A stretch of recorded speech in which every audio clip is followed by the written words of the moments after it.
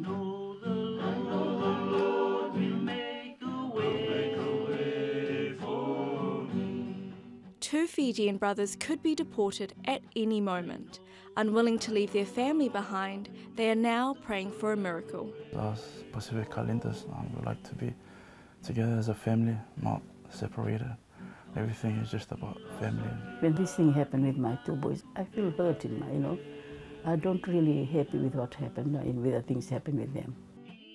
Like many Pacific migrants, Josese and Tawake's parents made the decision to leave Fiji nine years ago with the dream of building a good life here. We didn't know much about New Zealand. We just knew New Zealand by the TV series, Shortland Street. That was it, nothing else. But then when my dad came over and told us about the opportunities here, we were willing to come over to sacrifice everything so that we can have a better future. There's nothing left for us in Fiji.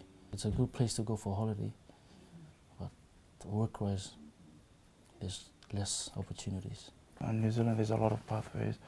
There's a lot of careers you can get into.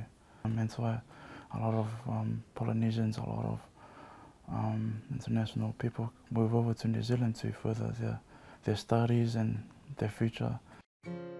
Adopting New Zealand as their new home, they settled in well on student visas. However, issues arose when they were nearing the end of their tertiary studies.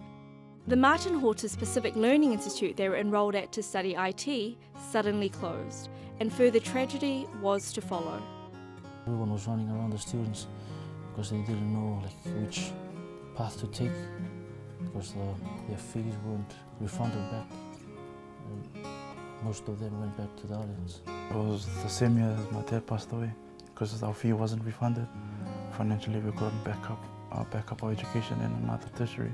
Now we're still trying to you know, process the, the fact that my dad is gone and my dad has been there for us every time.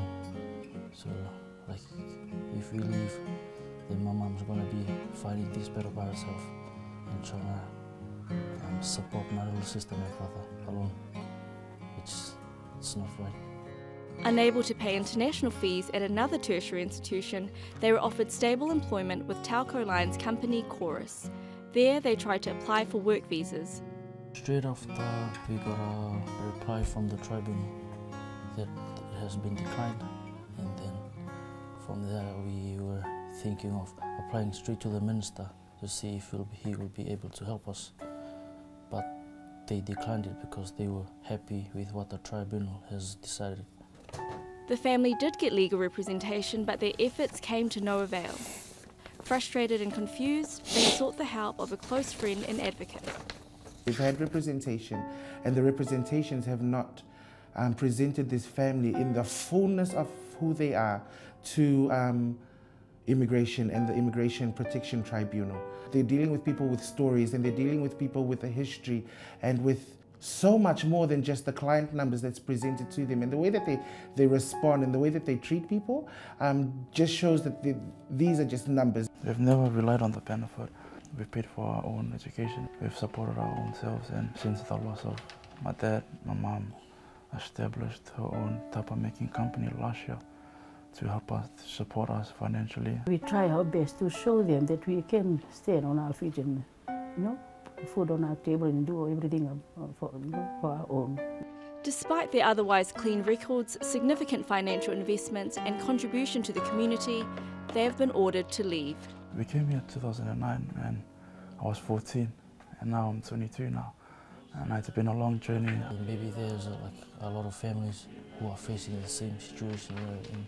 Maybe God chose us as a family to be like a light uh, and to address this problem to the people of New Zealand and hopefully can open doors to the families that are you know trying to um, start something here in New Zealand, start a life. We are really tried hard to stay here in New Zealand. We've never done anything, we've never broken a law. We just want an opportunity to stay here as a family.